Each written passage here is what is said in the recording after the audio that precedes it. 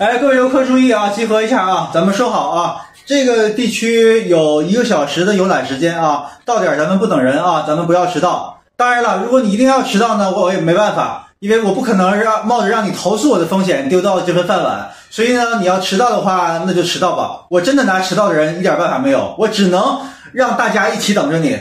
哎，前面这块石碑大家看哈，是乾隆留下的字迹啊。当然了，我们知道乾隆留下的东西很多，这个东西非常不值钱。本身乾隆呢也没什么文化，就是爱附庸风雅，爱装文艺青年而已。乾隆留下东西大家是完全不用看的啊。这个景点呢，把乾隆这个所谓的石碑当做一个宣传一个卖点，其实就是说明这个景点什么都不是，屁都不是，没有任何呃值得文物保护的任任何的功能，明白吧？大家就走马观花看看就好了啊，不用在意，随便摸随便碰，没关系的。哎，跟大家介绍一下啊，本次旅程特意为大家准备了这款上好的杯子，这是康熙年间的杯子啊，烧制的特别好啊，大家谁要拿回家，呃，不管是作为收藏还是投资，还是送珍贵的人也好，都非常合适啊。但说实在的，这样的杯子上个礼拜在东莞能烧出来十万来套哈，如果你真的不是有钱没地儿花，那就不要买。你们看哈，现在拿在我手上这个是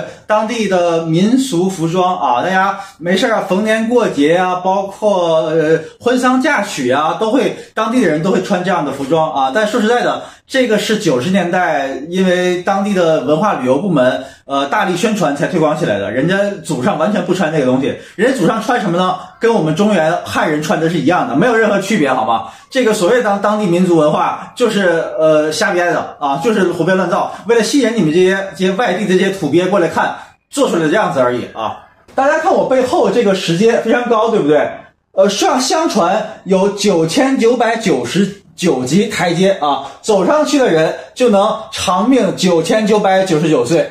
当然了，这个当然是假的，谁人谁能活到九千九百九十九岁呢？你活到九十九都很难。大家，你现在吃油吃糖这么高，你想长寿门儿都没有。你爬今天爬上去没有用，你平常在家你不锻炼，你怎么可能长寿？你就一年旅一次游，旅一次游，爬一次台阶，爬一天累得要命，就想长寿，天下哪有这样的好事儿？白日做梦。请看远方那块石头，大家看它像什么？哎，没错，就是当年女娲娘娘补天剩下来的石头。当然了。这是哪个历史考古学家、古生物学家说的呢？没有任何人啊，这是当地人瞎编的，这是为了盖这个景区收门票瞎编的啊！这是石头到处都是什么孙悟空的石头、女娲娘娘的石头、什么呃蚩尤、黄帝、炎帝的石头，没有啊，就是石头而已。石头几十亿年没有任何变化啊，石头就是石头，没有任何意义。石头出现在比人类更早更早以前，所以。人类渺小的人类才活了多多少年，就想赋予石头以意义？人类妄自尊大，自不量力。哎，大家有一天累了，也别忘了给远方的亲友带一点当地的特色小吃哈。这个是当地用土特产啊，融合了当地的微量元素，能让你滋阴壮阳，调节体内的阴阳平衡啊。当然，如果你不是个大傻儿。就不要买它，好吧？因为这玩意儿就是一些碳水化合物和糖和水啊，还有蛋白质，还有一些淀粉的东西。你平常在家吃的什么肉蛋奶，完全就能替代掉它。这个东西除了包装看起来送礼比较有面子之外，没有任何功效啊！而且反正吃这个东西还会让你变得更胖，更不健康。好，里面的景区不要去了哈，里面不要不要走了，没什么意思的。对，没错。